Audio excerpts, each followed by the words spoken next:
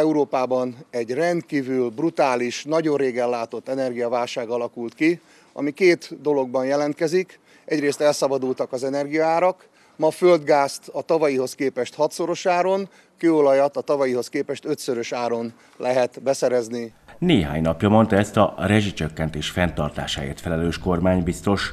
Német Szilárd szavainak súlyát a lakosság jelentős része vélhetően már az augusztusi áramszámlák fizetésekor is érzi. Télen pedig azoknak kell majd a korábbinál jóval magasabb díjjal számolniuk, akik átlépik a kormány által meghatározott gázmennyiséget. A távhővel fűtött lakások és házak egyelőre nem érintettek az átalakításban. A szolgáltatók viszont igen, nagyon súlyosan. Szexádon a helyi önkormányzati cégnek idén a korábbiár többszörösét kell fizetnie a beszerzett földgázért. Megkötöttük a földgáz szerződést a következő évre, az októbertől gázév, tehát októbertől van októberig. Hát ez sajnos körülbelül ötszöröse az eddigiek. Eddig volt 800 millió gázszámlánk, most lesz csak a gázszámla 4,3 milliárd. Vagyis német Szilárd korábban bemutatott állításának megfelelően valamivel több mint ötszörös áron lehet nagykereskedőként földgázhoz jutni. Ennek oka elsősorban az orosz-ukrán háború és az amiatt az egész földön dráguló nyersanyagok. Szexádon ez a jelenség tehát a távhővel fűtött fogyasztók számára egyelőre szinte láthatatlan. Az önkormányzati szolgáltatót viszont már most eladósította, hat hónappal a harcok kezdete után. Vagyis a probléma megoldásához az önkormányzati cégnek rengeteg hitelt kell felvennie, és állami támogatás nélkül még így sem tudnának tartósan talpon maradni. Ráadásul megfelelő szakembereket sem könnyű találni, úgyhogy a munkaerőn biztosan nem spórolnak. A pénzt máshogy kell előteremteniük. Kapunk állami támogatást, de akkor is meg kell tudni finanszírozni havi számlákat, ami lehet akár egy hónapban 7-800 millió is. Ez csak úgy lehet, hogy az állam támogatásból, amit utólag kapunk meg, úgyhogy mindenképpen meg kell növelni a folyószámlahitelünket.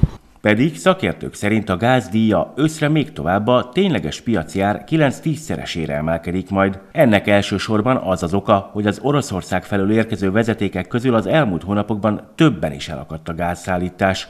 Ez pedig bizonytalan piaci helyzetet eredményezett. Szexádon pedig ezt nem akarják tétlenül nézni, úgyhogy azon dolgoznak, miként lehet ezt az alapanyagot kiváltani. Nem tervezünk leépítést, is nagyon nehéz munkaerőt találni. Eh, hát vannak nyugdíjasaink, úgyis, tehát igazán az magától megoldódik általában, akik idősebbek elmennek, tehát ez, itt nincs szükség, vagy nem, is, nem, nem kívánunk leépíteni senkit.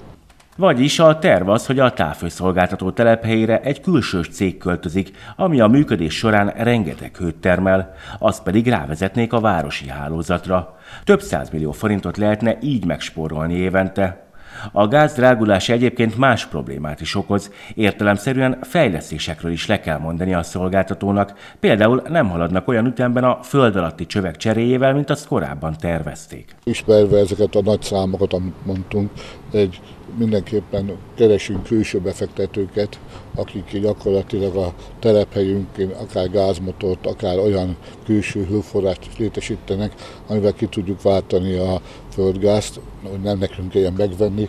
Gyakorlatilag óriási pénzt születünk a CO2-re is, azért, hogy tudjunk tenni, és ezért találtunk, megversenyeztettük és találtunk olyan befektetőt, aki lényegesen olcsóbban adja a hőt, pont azért, mert villanytermel és a villanytermelésnek valami haszna, hogy, azt, hogy így gyakorlatilag olcsóban kapunk hőt. Ez a mostani szerződés ez a egyharmadát érinteni a városi hőváltásnak. A munkának viszont ettől függetlenül nem szabad leállnia. Kisebb javítások egész nyáron zajlanak a Tolnai megye székhelyen. Gyakorlatilag minden évben elvégzünk egy nyomáspróbát, vagy többet. Megnyomatjuk a rendszert azért, hogy ne télen jöjjenek ki a hibák, és gyakorlatilag, amit itt láttunk, itt a belettünk, itt is egy tervezett beruházás volt, az már volt itt több hibásodás, de nem biztos, hogy meg tudtuk volna csinálni, akkor, hogyha már nincs az okadás, és most kicseréljük itt a csöveket a, a, ezen a részen, ami már több mint 50 éves csövek. A fémből készült csövek helyére hasonló anyagok, viszont sokkal korszerűbbek kerülnek.